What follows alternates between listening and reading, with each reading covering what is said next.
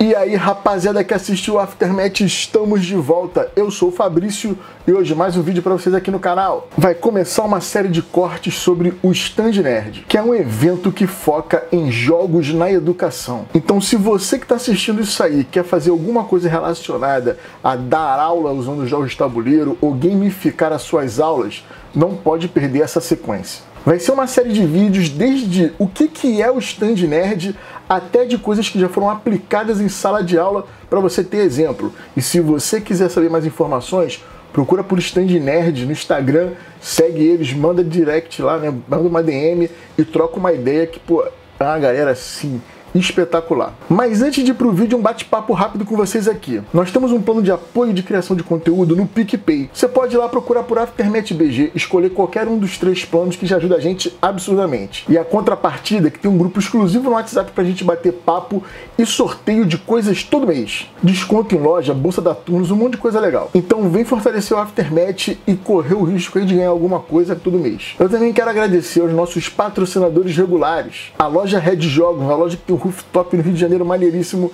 que é assim que poder aglomerar eu já vou para lá para curtir o visual, mas que também é uma loja online. Você pode ir lá comprar que eles vão embalar e despachar para todo o Brasil. A Turnos, que faz a bolsa irada que eu sorteio todo mês aqui no canal, que você vai poder carregar seus jogos com segurança. Camisa temática, caneca temática, porta-dado de couro que você abre ele e guarda dentro da caixinha com segurança e tranquilidade. E a Gorilla 3D, gente, que está sempre inovando na vanguarda ali com um monte de componente bonitão para deixar seu jogo bacanudo em cima da mesa. Na descrição do vídeo tem um link para todos eles, vai lá dar moral para quem dá moral pro canal. Se você é novo por aqui, já se inscreva no canal para fortalecer, dá aquele joinha e compartilha o vídeo naquele seu grupo de amigos.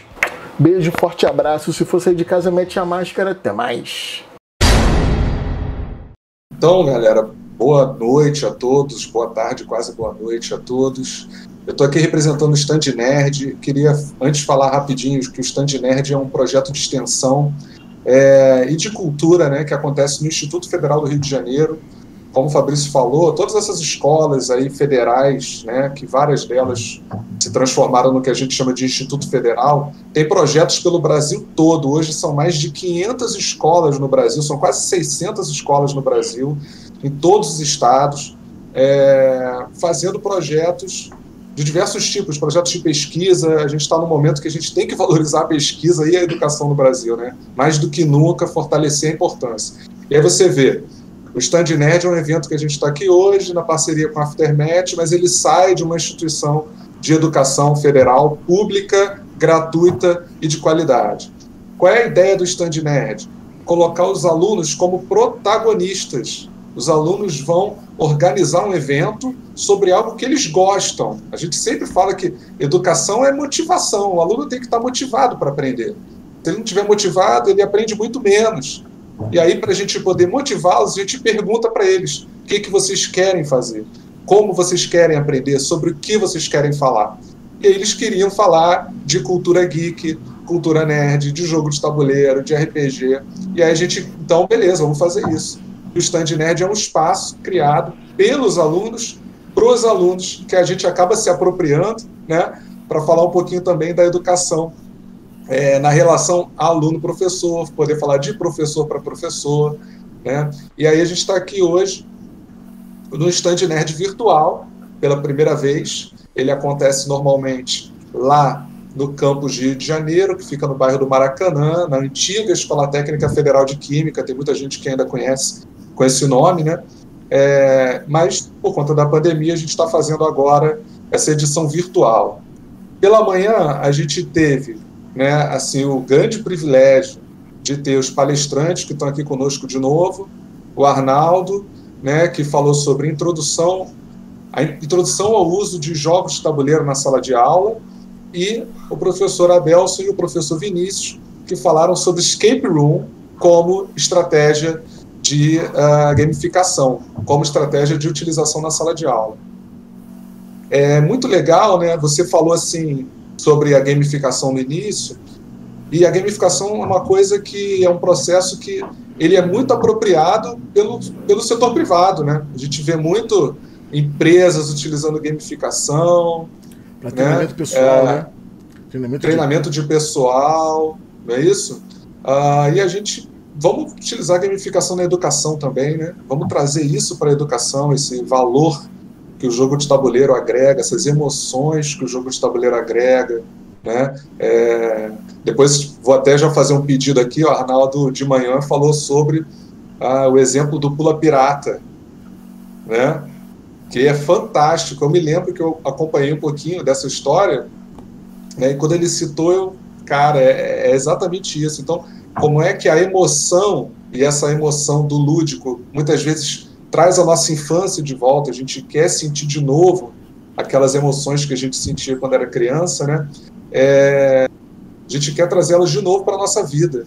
E como é que o jogo de tabuleiro tem esse poder de trazer as emoções da infância para a vida adulta, às vezes, no nosso caso, né? para os mais jovens que estão ainda ali na escola, estão no ensino médio, estão ingressando no ensino superior, como é que traz essas emoções de volta e utiliza elas para o aprendizado, né? E a gente especificando aí na questão do jogo de tabuleiro, como é que a gente também vai falar sobre o escape room, que no jogo de tabuleiro é a tendência, eu acho que é a mais recente. É, ficou a, a, fácil a, produção dele, teoricamente né? falando, né? A gente pode eu acho um que aqui, é a... não é nem questão de fazer propaganda, mas, por exemplo, numa caixinha dessa, você tem uma experiência inteira de escape room, né? Isso. Né? Só que a gente no, entra num ponto que jogou uma vez e acabou, né?